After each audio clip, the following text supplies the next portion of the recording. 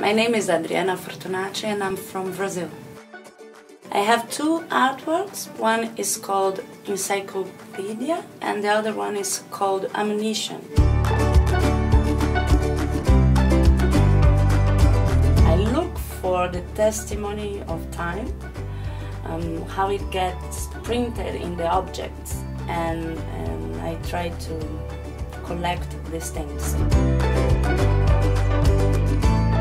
Always try to leave the work I do open so people can um, create their own interpretations.